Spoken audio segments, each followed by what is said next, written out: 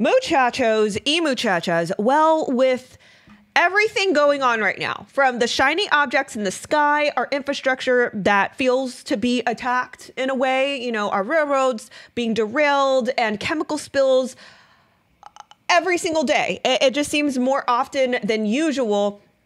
You have to think like, this is definitely happening. The uh, chemical uh, ecological disasters, Ohio, you know, the all these things happening in, in various parts of our country but then this news comes out today about Jeffrey and a former executive over at JP Morgan Chase, Jes Staley. Some recent communication between the two has uh, been reported by Bloomberg. And I kind of wanted to go through that because, wow, there is something here and it definitely seems a bit damning. So, with that being said, hold on to your butt, secure your wig, stay right there. We're going to go through this.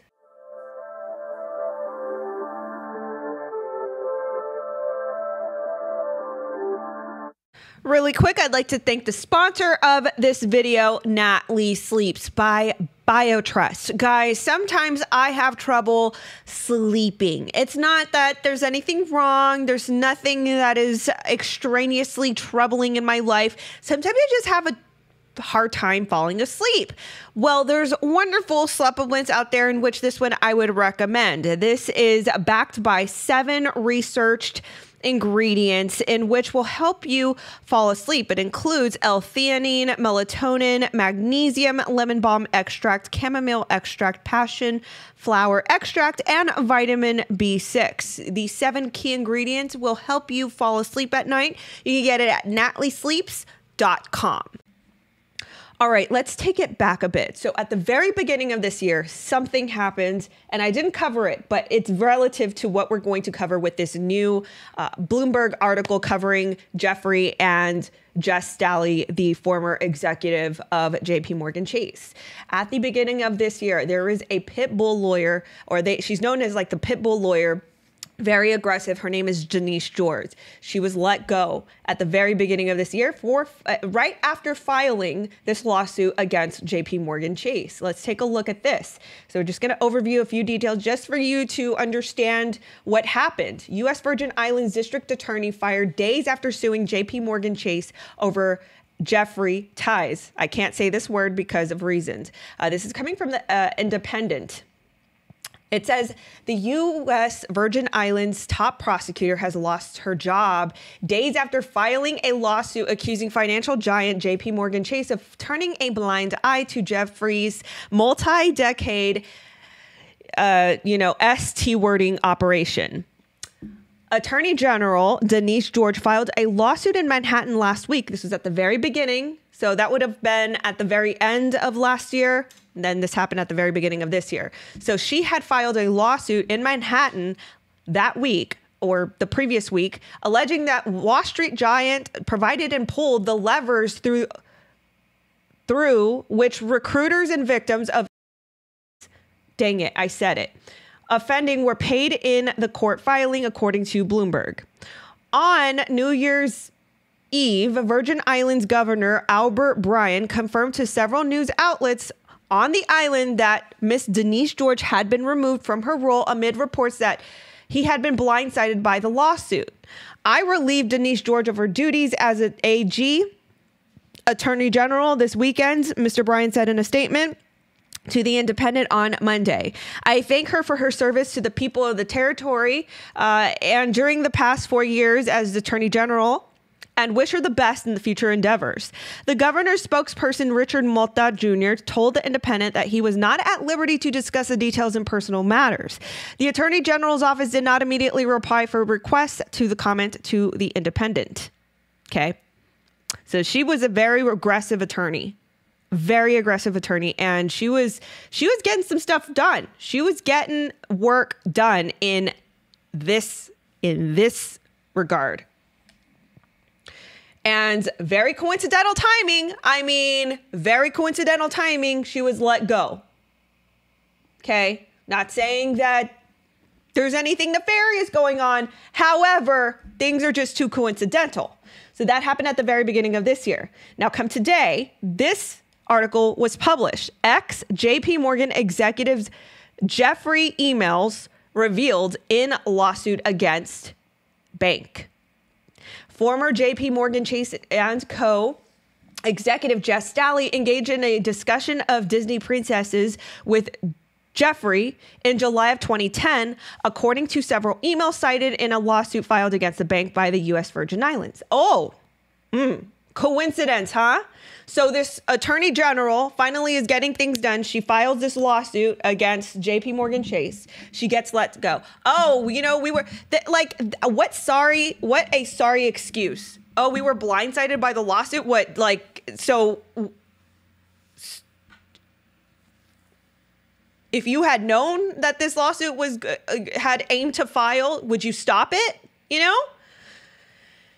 Anyway, okay. So this is what uh, the message continues to say. That was fun, Jes Staley allegedly wrote. Say hi to Snow White. What character would you like next? Jeffrey allegedly responded, Beauty and the Beast.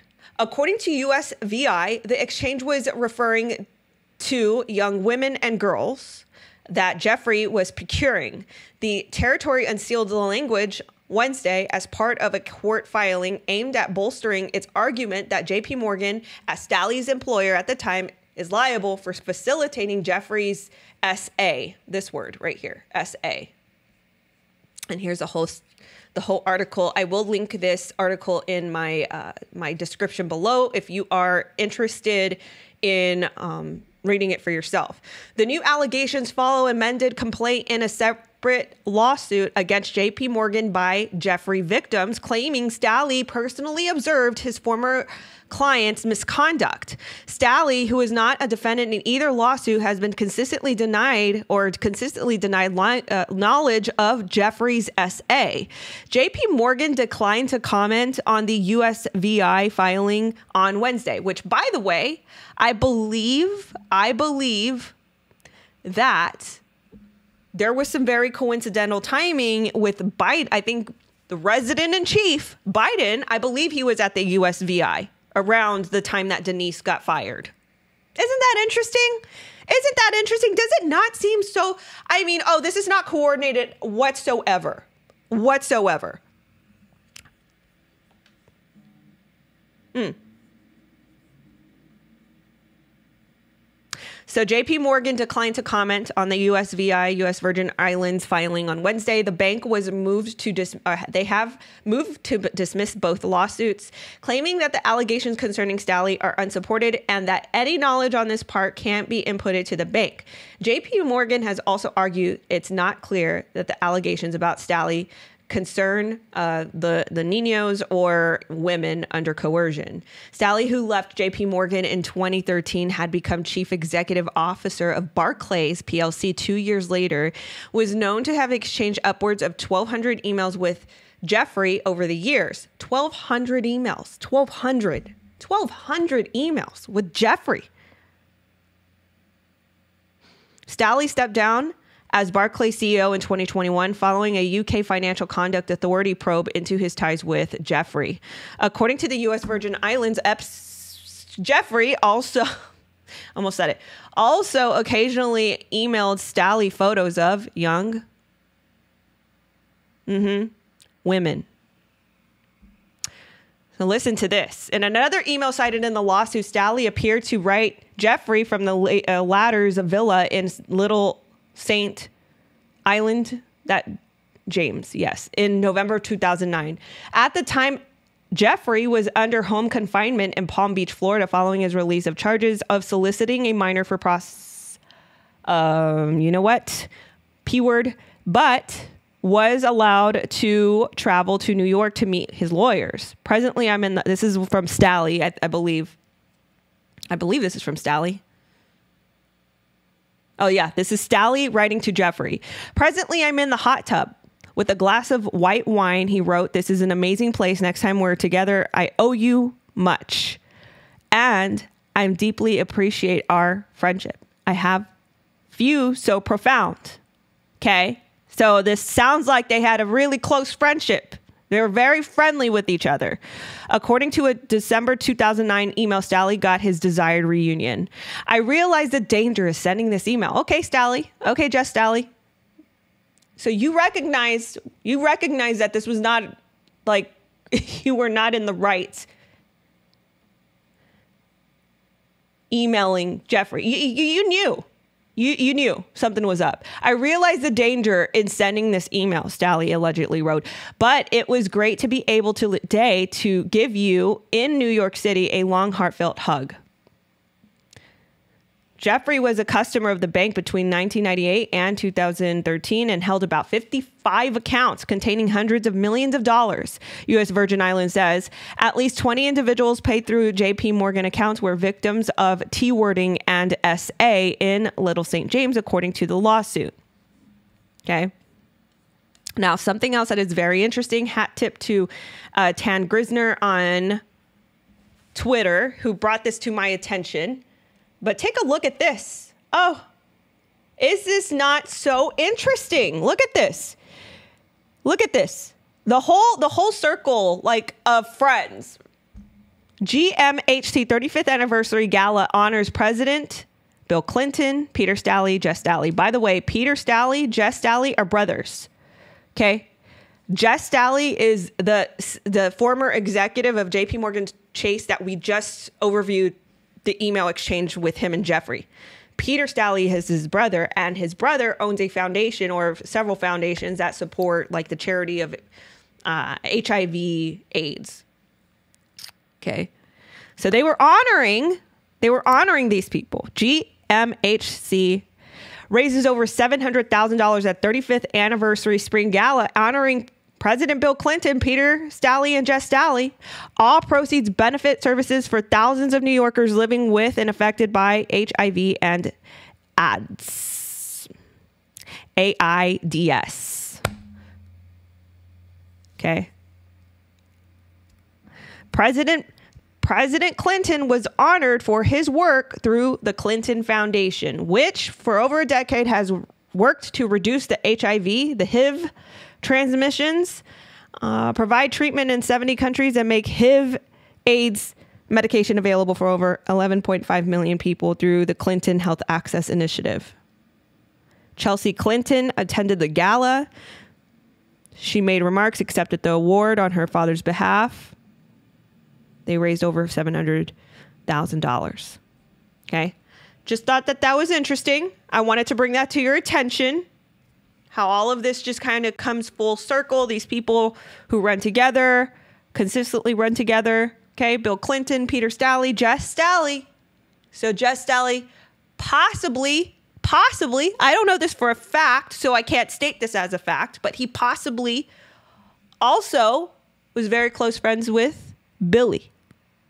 But like I said, I don't know that. I'm just kind of drawing from context clues. Guys, let me know your thoughts in the comments below. I thought I'd give you that quick rundown because this is uh it's yeah, pretty breaking.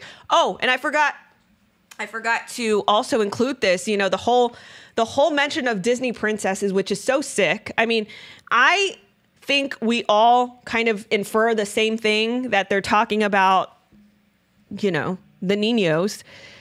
How coincidental is it that there were pictures that were released of Jeffrey at Disney World with a Nina in his lap and then another Nina in his lap? Like, I guess they were on a private jet. He's wearing the same polo. I don't know if these he wears the same polo day by day, but and I don't know if this is the same day, but there's two different little girls.